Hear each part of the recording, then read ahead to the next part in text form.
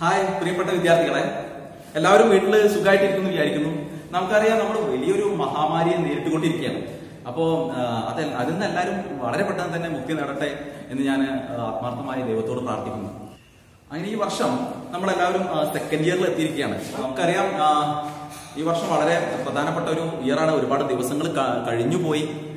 അപ്പോൾ അപ്പോ ക്ലാസ്സുകൾ വളരെ ലേഗായി ഈ അക്കാഡമിക് ഇയർ എന്താവും എന്ന് നമുക്കറിയില്ല.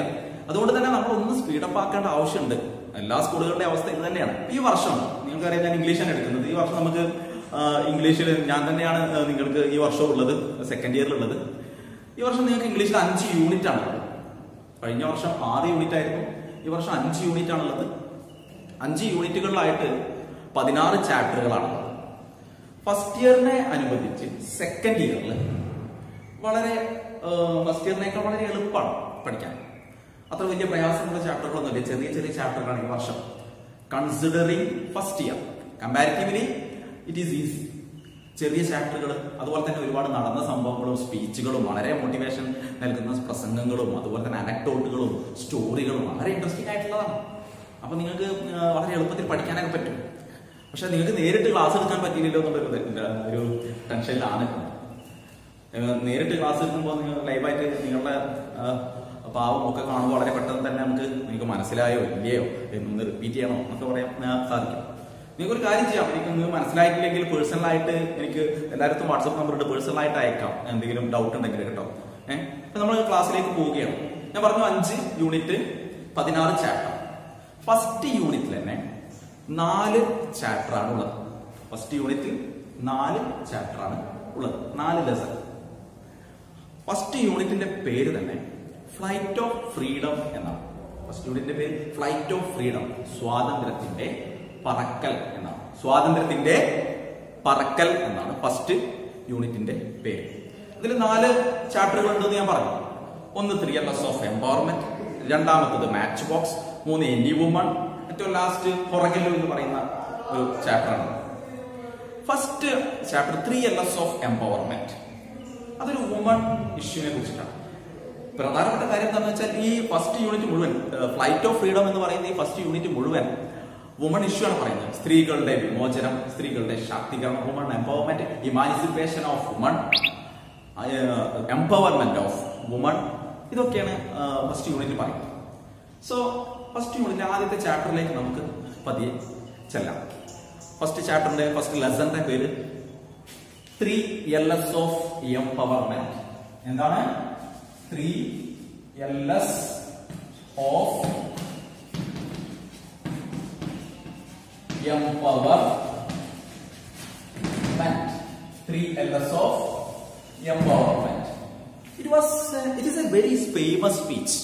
ഇത് വളരെ ഫേമസ് ആയിട്ടുള്ള ഒരു സ്പീച്ചാണ് ആരെയാണ് ചോദിച്ചാൽ ക്രിസ്ത്യൻ ലഗാഡ എന്ന് പറയുന്ന ഒരു സ്ത്രീയുടെ വളരെ ബഹുമാനായിട്ടുള്ള ഒരു സ്ത്രീയുടെ ഒരു ഫേമസ് ആയിട്ടുള്ള സ്പീച്ചാണ് വുമൺ ഇഷ്യൂവിനെ കുറിച്ചിട്ട് വുമൺ എംപവർമെന്റ് കുറിച്ച് എംപവർമെന്റ് എന്ന് പറഞ്ഞാൽ എന്താണ് എംപവർമെന്റ് മീൻസ് ശാക്തീകരണം. സ്ത്രീ ശാക്തീകരണത്തെ കുറിച്ചിട്ടുള്ളതാണ്. So speech by Christine.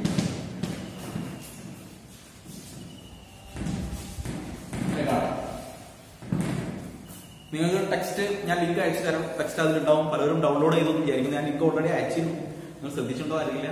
ടെക്സ്റ്റിൽ നോക്കുക അപ്പൊ നിങ്ങൾക്ക് ടൈറ്റിലൊക്കെ മനസ്സിലാവും. ഏഹ് അപ്പൊ ഞാൻ ക്ലാസ് എടുക്കുമ്പോൾ ടെക്സ്റ്റ് മുന്നോട്ട് വെക്കാം ഞാൻ പിന്നെ ഓഡിയോ ഒക്കെ വിട്ടു തരാം കേട്ടോ? അപ്പൊ ക്രിസ്ത്യൻ ലഗാഡെ എന്താണെന്ന് ആദ്യം നിങ്ങൾ മനസ്സിലാക്കണം. Three L S of empowerment എന്താണ് മനസ്സിലാക്കി? എംപവർമെന്റ് എന്ന് പറഞ്ഞാൽ ശാക്തീകരണമാണ്. അതിന്റെ ത്രീ എൽ മൂന്ന് എല്ലുകളാണ് എൽ എന്ന് പറഞ്ഞാൽ.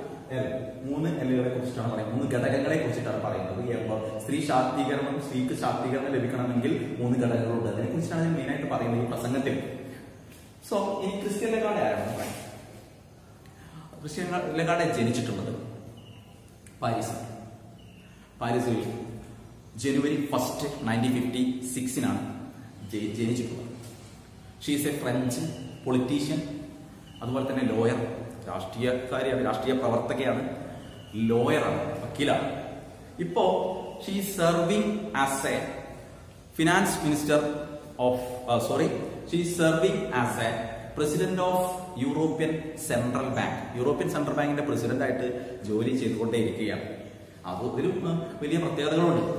She has hold many ministerial positions വളരെ വലിയ മന്ത്രി സ്ഥാനം ഒക്കെ കൈവരിച്ചിട്ടുള്ള മന്ത്രിസ്ഥാനമൊക്കെ നിറവേറ്റിയ മന്ത്രിസ്ഥാനത്ത് സ്ഥാനത്ത് വലിയ പ്രവർത്തനങ്ങളൊക്കെ ചെയ്ത ഒരു സ്ത്രീയാണ്.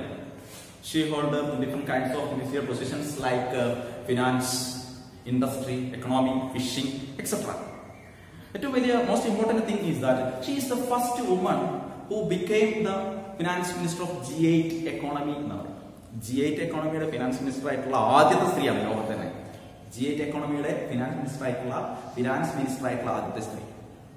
രണ്ടാമത് and she is the first woman who became the head of international monetary fund international monetary ഫണ്ടിന്റെ തലപ്പത്ത് വന്ന ആദ്യത്തെ സ്ത്രീയാണ്.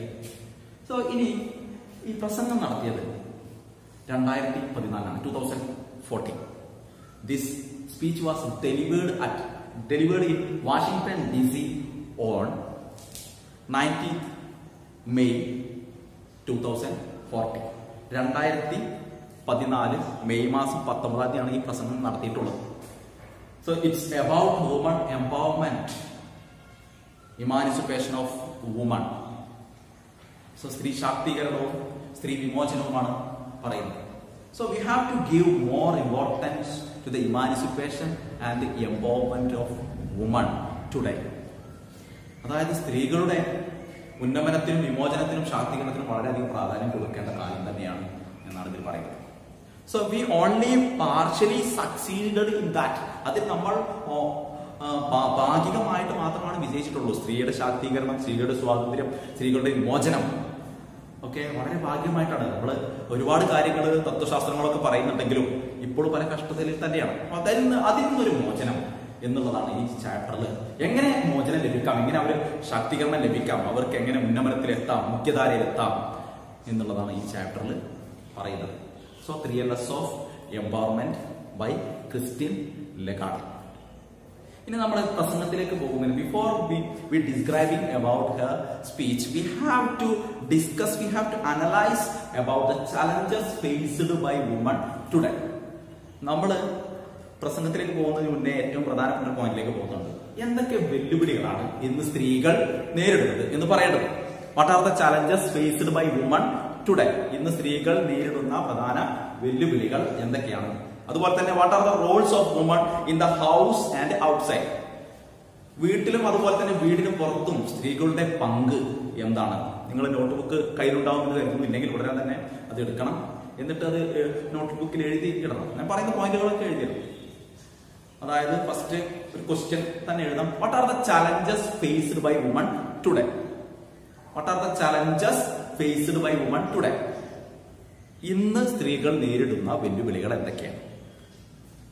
രണ്ടാമതായിട്ട് what are the roles of woman in the homes and outside സ്ത്രീകളുടെ വീട്ടിലും അതുപോലെ തന്നെ പുറത്തും അവരുടെ പങ്ക് എന്ത് എന്നുള്ളതാണ്.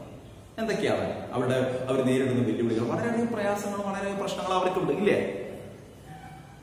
So we have to analyse we have we have to discuss about that I think woman has ഞാൻ ചിന്തിക്കുന്നത് നിങ്ങൾക്ക് പോയിന്റുകൾ എഴുതാം woman has major role in the house and outside also സ്ത്രീകൾക്ക് വീട്ടിലും അതുപോലെ തന്നെ പുറത്തും വലിയ ഒരു സ്ഥാനമാണ് ഉള്ളത്. ദ ഹാവ് ഇമ്മൻസ് റെസ്പോൺസിബിലിറ്റീസ് അവർക്ക് വളരെ വലിയൊരു ഉത്തരവാദിത്വം. They have immense responsibilities they're considered as the pillars of the house അവരെ വീടിന്റെ ഒരു നെടുന്തൂണായിട്ട് കണക്കാക്കണമെന്നാണ്. കാരണം വീടിനെ പല കാര്യങ്ങളും ഉത്തരവാദിത്തത്തോടെ നിലനിർത്തുന്നത് സ്ത്രീകൾ തന്നെയാണ്. നമ്മൾ ആലോചിച്ചിട്ടറിയാം നമ്മളൊരു പ്രശ്നം ഉണ്ടാകുമ്പോൾ മിക്കവാറും നമ്മൾ ആൺകുട്ടികൾ എന്തെങ്കിലും പ്രശ്നം ഉണ്ടാകുമ്പോൾ ഭൂരിഭാഗം ഒരു എയ്റ്റി പെർസെന്റേജും ഉമ്മ എന്ന് പറഞ്ഞിട്ടാണ് ചെല്ലാറെന്ന് തോന്നുന്നത്. മനസ്സിലായി? എന്തെങ്കിലും പ്രശ്നങ്ങളോ കാശിന്റെ പ്രശ്നങ്ങളോ എന്തെങ്കിലും കാര്യങ്ങൾ പറയാനുണ്ടെങ്കിലോ അല്ലെങ്കിൽ ഇപ്പനോട് പറയാനുണ്ടെങ്കിലും പോലും ആദ്യം ചെല്ലുക ഉമ്മാന്റെ അടുത്തിലാണ് കാരണം അത് ടാക്കിൾ ചെയ്യാൻ കൈകാര്യം ചെയ്യാൻ അറിയാം അപ്പോൾ ഒരു ഉത്തരവാദിത്വം വളരെയധികം നമ്മൾ പെട്ടെന്ന് നിർവചിക്കാൻ പറ്റാത്ത ഒരു റോൾ തന്നെയാണ്. So they have responsibilities in the house. House so they were facing many challenges അവരത് അതുകൊണ്ട് തന്നെ അവർ വളരെ വലിയ വെല്ലുവിളികൾ നേരിടുന്നുണ്ട്. സോഷ്യലി എക്കണോമിക്കലി കൾച്ചറലി സാമൂഹ്യമായി സാംസ്കാരികമായി സാമ്പത്തികമായി ഒക്കെ അവർ വളരെയധികം പ്രശ്നങ്ങൾ നേരിടുന്നുണ്ട്. ഇല്ലേ? അപ്പോ even though they face many challenges അവർ ഒരുപാട് വെല്ലുവിളികൾ നേരിടും ഇതൊക്കെ നോട്ട് ചെയ്ത് വെക്കണം കേട്ടോ. അവർ ഒരുപാട് വെല്ലുവിളികൾ നേരിടുന്നുണ്ടെങ്കിലും they have less freedom than man അവർ ഒരുപാട് പ്രശ്നങ്ങളൊക്കെ വളരെ ധൈര്യത്തോടെ അഭിമുഖീകരിക്കുന്നുണ്ട്. എല്ലാ ജോലിയിലും എല്ലാ മേഖലയിലും അവർ ഉന്നമനത്തിലാണ്. അവർ എല്ലാ വെല്ലുവിളിയും നേരിട്ട് പക്ഷേ they have less freedom than man പുരുഷന്മാരെ അപേക്ഷിച്ച് അവർക്ക് സ്വാതന്ത്ര്യം കുറവ് തന്നെയാണ്. നമ്മൾ വളരെ അടിസ്ഥാനപരമായിട്ട് വളരെ ആ കാലത്തിൽ ചിന്തിച്ചാൽ. അല്ലേ? So they have less freedom than man അവർ പല മേഖലയിലും വേർതിരിക്കപ്പെട്ടിരിക്കുന്നു. ദ ഡിസ്ക്രിമിനേറ്റഡ് ഇൻ എഡ്യൂക്കേഷൻ വിദ്യാഭ്യാസത്തിൽ വേർതിരിക്കപ്പെട്ടിരിക്കുന്നു. They discriminated in education jobs and some rights ജോലിയിൽ വേർതിരിക്കപ്പെട്ടിരിക്കുന്നു. മറ്റുള്ള അവകാശങ്ങളിൽ വേർതിരിക്കപ്പെട്ടിരിക്കുന്നു. So they discriminated in jobs education and some rights ജോലി വിദ്യാഭ്യാസത്തിൽ മറ്റുള്ള അവകാശങ്ങളിൽ അവർ വേർതിരിക്കപ്പെട്ടിരിക്കുന്നു. അതായത് അവർക്ക് തുല്യമായിട്ടുള്ള ഒരു അവസരങ്ങളോ തുല്യമായിട്ടുള്ള ഒരു അവകാശങ്ങളോ ഇല്ല എന്നുള്ളതാണ്. മനസ്സിലായി? ഇപ്പൊ ജോലി when they do some kind of job they don't get equal pay with men അവരെന്തെങ്കിലും ജോലി ചെയ്യുകയാണെങ്കിൽ പുരുഷന്മാരുടെ അതേ കൂലി അവർക്ക് കിട്ടുന്നില്ല. Even when they do similar jobs അവർ ഒരേ ജോലിയാണ് ചെയ്യുന്നുണ്ടെങ്കിലും പുരുഷന്മാരുടെ അതേ കൂലി അവർക്ക് കിട്ടുന്നില്ല. ഉണ്ടോ? So even when they do similar jobs അവർ ഒരേ ജോലിയാണ് ചെയ്യുന്നുണ്ടെങ്കിലും പുരുഷന്മാരുടെ അവരെ അതേപോലെയുള്ള അതേ ശമ്പളം കിട്ടും. ശമ്പളം കുറവായിരിക്കും. അല്ലേ ഇനി അപ്പോൾ അഥവാ പോവാണെങ്കിൽ അവർക്ക് ഭയങ്കര ജോലിക്ക് പോവാണെങ്കിൽ ഭയങ്കര പേടിയൊക്കെയാണ്. പ്രൊട്ടക്ഷനൊക്കെ കുറവാണ് ജോലി സ്ഥലത്ത് സ്ത്രീകൾക്ക്. നമുക്ക് ഒരുപാട് പ്രശ്നങ്ങൾ നമ്മൾ പത്രത്തിലൊക്കെ വായിച്ചു മനസ്സിലായി? ദ മെയിൻ ഡോമിനേറ്റഡ് സൊസൈറ്റി പുരുഷ മേധാവിത്വ പാട്രിയാർക്കൽ ഫാമിലി എന്ന് പറയും. പുരുഷ മേധാവിത്വ സമൂഹത്തിൽ മെയിൽ ഡോമിനേറ്റഡ് സൊസൈറ്റി പുരുഷ മേധാവിത്വ സമൂഹത്തിൽ മെയിൽ ഡോമിനേറ്റഡ് സൊസൈറ്റി പുരുഷ മേധാവിത്വ സമൂഹത്തിൽ woman has low status. Woman വളരെ കുറഞ്ഞ സ്ഥാനമാണ് ഉള്ളത്. Male dominated society considered woman as a second class low class people പുരുഷ മേധാവിത്വ സമൂഹം സ്ത്രീയെ കണക്കാക്കുന്നത് രണ്ടാം തരക്കാരായിട്ടാണ്. കുറഞ്ഞ അവരായിട്ടാണ്. മനസ്സിലായോ? ഒരു സാധാരണ ഒരു പറച്ചിൽ. ഇഫ് എ വുമൺ മാരീസ് സാധാരണ പഴമൊഴിയാട്ടോ. ഞാൻ പറയുന്നതല്ല. ഇഫ് എ വുമൺ മാരീസ് ഒരു സ്ത്രീ കല്യാണം കഴിച്ചു കഴിഞ്ഞാൽ she become the slave of her husband അവൾ പിന്നീട് ഭർത്താവിന്റെ അടിമയാണ്. വെൻ ഹർ ഹസ്ബൻഡ് ഡൈസ് അവളുടെ ഭർത്താവ് മരിക്കുമ്പോൾ she become the slave of her son അവൾ പിന്നെ അവളുടെ മകന്റെ അടിമയായി മാറുന്നു എന്നുള്ളൊരു പഴമൊഴിയുണ്ട് പഴമൊഴിയാണ് ഒരു പക്ഷേ ശരിയായിരിക്കാം. ഞാൻ ഇവിടെ പറഞ്ഞു വരുന്നത് സ്ത്രീകളുടെ ഒരു പ്രശ്നമാണ് സമൂഹത്തിലെ ഒരു പ്രശ്നം. അങ്ങനെ പ്രശ്നമില്ലേ?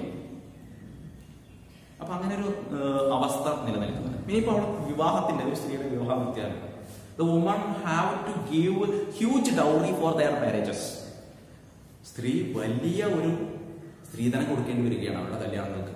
ചില ഇതൊക്കെ ചിലപ്പോൾ ഇതൊക്കെ ഒരു ഒരു ഫാമിലിയുടെ സ്റ്റാറ്റസിന്റെ ഭാഗമായിട്ട് അവർ കൊടുക്കുന്നുണ്ട് വലിയ സ്ത്രീധനമൊക്കെ. പക്ഷെ എങ്കിൽ കൂടി ഇതൊരു നിർബന്ധമായിട്ടുകൊണ്ടിരിക്കുകയാണ് പ്രത്യേകിച്ച് മലപ്പുറം ഒക്കെ നമുക്കറിയാം. സോ ഞാൻ അങ്ങനെ ഒരു ജില്ലയെ തരംതിരിച്ച് പറയല്ല. സോറി അങ്ങനെ എന്തെങ്കിലും തോന്നിയിട്ടുണ്ടെങ്കിൽ ക്ഷമിക്കണം. So uh, woman has to give huge dowry for their marriage. അവരുടെ കല്യാണത്തിന് വലിയൊരു സ്ത്രീധനം കൊടുക്കേണ്ടതുണ്ടെന്നാണ്. അപ്പൊ ഇങ്ങനെയുള്ള അവസ്ഥയാണ് ഇന്ന് നമ്മുടെ സ്ത്രീകൾ നേരിടുന്ന ഒരു വെല്ലുവിളികൾ വെല്ലുവിളികൾ അവരുടെ ഒരു പ്രശ്നങ്ങൾ അവരുടെ ഒരു പങ്ക് എന്ന് പറയുന്നതും നമ്മളൊക്കെ ഇവിടെ ഒന്ന് ഡിസ്കസ് ചെയ്ത് കഴിഞ്ഞു. ഞാൻ ഒന്നുകൂടി റിപ്പീറ്റ് ചെയ്യാം. നിങ്ങൾ നോട്ടിൽ കുറിച്ച് ഇടണം. ഒന്നുകൂടി വായിച്ചു നോക്കിക്കോളൂ. Woman has major role in the house and outside also They have immense responsibilities. They were considered as the pillars of the house.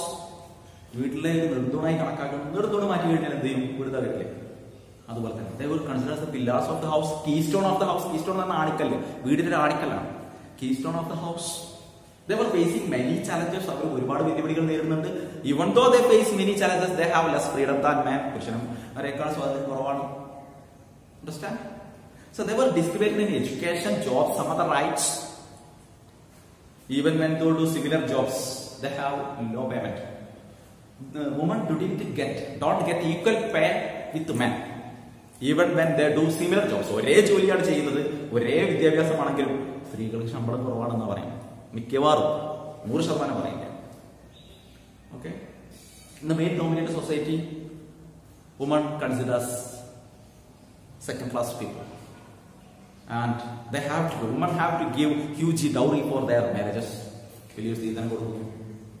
അങ്ങനെയുള്ള പ്രശ്നങ്ങൾ നടന്നു അപ്പൊ ഇതാണ് സ്ത്രീകളുടെ അപ്പൊ നിങ്ങൾ ചെയ്യേണ്ട ഒരു കാര്യമാണ് അപ്പൊ ഞാൻ കുറച്ച് പ്രശ്നങ്ങൾ പറഞ്ഞു. ഇതിന്റെ കൂടെ അടുത്ത പാരഗ്രാഫായിട്ട് നിങ്ങളുടെ മനസ്സിലുള്ള കാര്യങ്ങൾ എന്തൊക്കെയാണ്? അവർ നേരിടുന്ന പ്രശ്നങ്ങൾ എന്തൊക്കെയാണ്? അത് നിങ്ങൾ അടുത്ത പാരഗ്രാഫായിട്ട് നിങ്ങൾ നോട്ടിൽ എഴുതണം. ക്ലാസ് കഴിഞ്ഞതിന് ശേഷം.